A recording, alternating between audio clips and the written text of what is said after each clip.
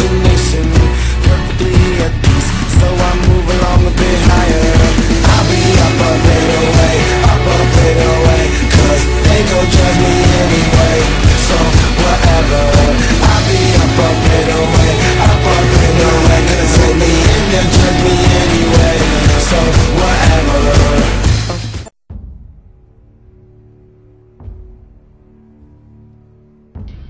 Hey everybody, uh, like it says, somebody uh, on AJ was looking for a some cleave, some high rated cleave video from a DK point of view. So I thought I'd throw some matches together. We played two nights, we didn't get any teams above five points, so opponents are pretty terrible.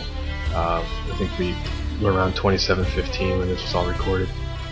Anyway, uh, TSG comp, I, you'll see in some of the videos that my pet's on, uh, not on passive. That's just an accident. I must have just got done doing some vault or something. But uh, anyway, I play in Blood all the time as Unholy Spec. I've played in Blood since Season 5 came out. I just like the increased damage and I like being able to plan your runes a little bit better. So in this comp, I really play the support role as the DK. I, I set up the kills, I'll handle the peels, I'll handle the interrupts.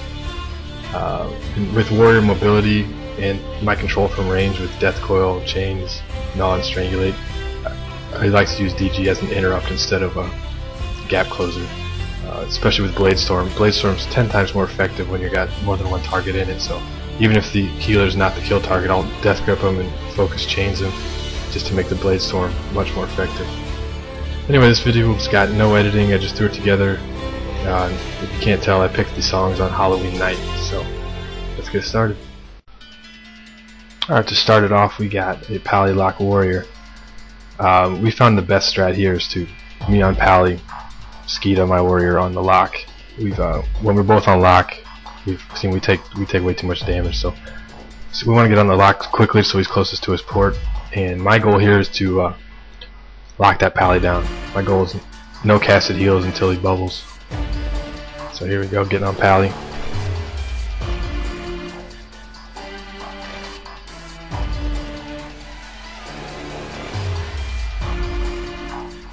So yeah, just trying to keep him no casted heals here. Aura Mastery's up, gonna gnaw that first one, he's already at half. I'm gonna get ready to DG the next heal. Force the bubble. By now we've smashed them, the momentum's so in our favor they don't have a chance.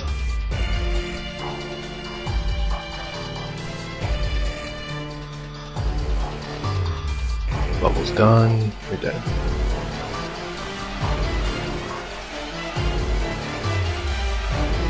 Can be a tough fight if you train that lock though. The warrior will do some sick damage to when you're bunched up like that.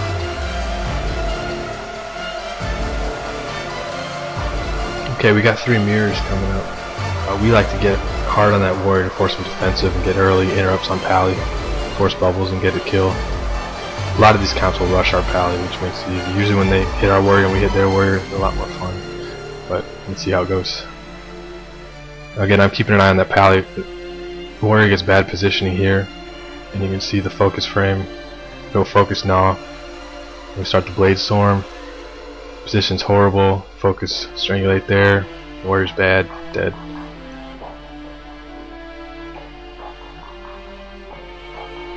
Um, even if even if that warrior shield wall there, we would have gone through a good amount of cooldowns. And we would, if you check the damage on this fight, we're never in danger. Uh, we, we never even get low.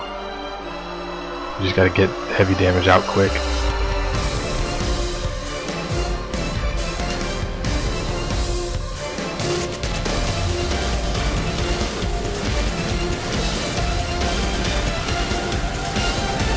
Same match here, different team. And you can see my focus is in the bottom right. My focus cast bar is the, the quartz bar right above my head.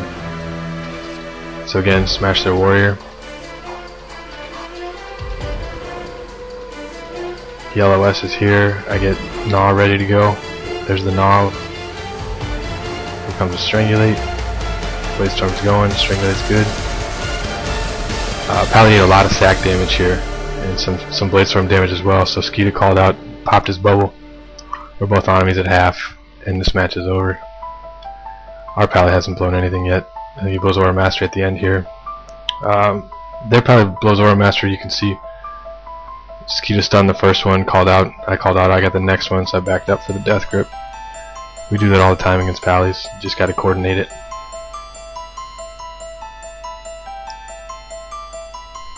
Another mirror here. Same thing, where he gets horrible positioning. LOS of his pally for dispel. End of this fight, Skeeta and I did about 200k damage each, and this warrior did about 50k because he's forced defensive. With a disarm, there's a gnaw, there's a string it on the pally. Almost killing him through shield wall. Death grip the uh, aura mastery for the first one. DK almost died there, but I mean it's just all about momentum in these mirrors, and we're just smashing them on damage. If you check our HP, this whole fight doesn't move at all.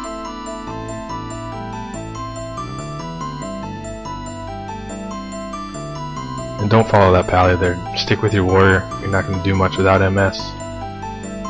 Uh, pally's way out of out of sight, way out of range anyway, so warrior's dead here.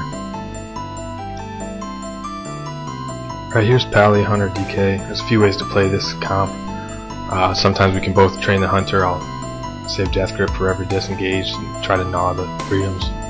Um, other times we can put Skeeta on the Hunter and I'll be on the Pally to lock him down completely.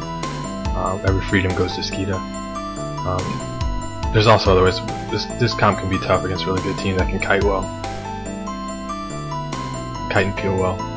So here we go. And my, my goal on this one again is to just shut down this Pally.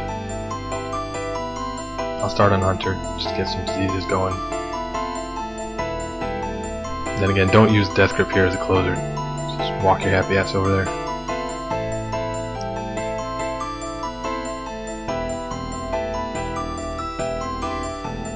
So Warrior goes, or Hunter goes in a bad spot here, so I blow my shit.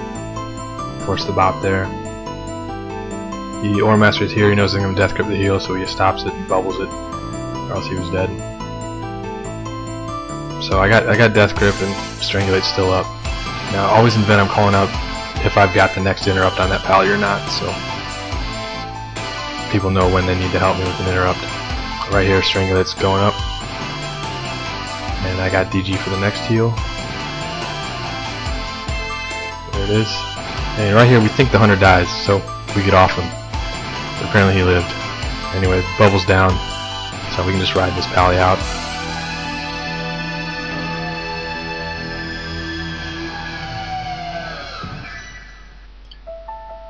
Now next team we face, uh, the match prior to this one, they opened with a Zerg on our pally. And we ended up, they killed our pally, we killed their hunter, and then it was down to a 2v2, so here I open up with, with peeling on them. They open with Death Grip on lead, um, and I just start peeling. Just to get, just to slow their opener, momentum back in our favor. There's Death Grip on my pally. I see their DK going for it. I'll pull him back a little bit just to give our pally a little bit of room. And here we go. I catch the pally in a bad spot. He's on the left of the box. DK is on the right, so I focus no arm right there. Then an arcane torrent there just to prevent some defensive cooldowns by the DK, and he ends up dying before uh, before he gets healed up. Now again, I'm using the focus death grip here, coming up to interrupt the last heal. Make sure you pop those snakes all the time too. These things are bastards. So here's the focus DG on the next heal into a Hodge, game over. Last one is uh, the previous match versus those guys came down to 2v2. Uh, this is why I love Arcane Torrent. This is why Arcane Torrent is the best DK racial. So bubbles up. I, I got talking to Skeeta here, telling him I got all the next interrupts. Trinket the Hodge. Know your range on Torrent, so I got him there. And then next is Focus Mind Freeze. I got Gnaw for the next, and Skeeta intercepts away just to reflect some damage. He's getting cl close to dead. So I got a kill there.